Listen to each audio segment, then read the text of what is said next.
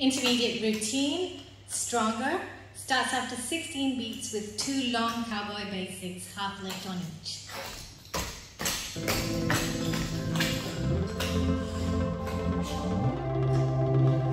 Long cowboy basic, half lift.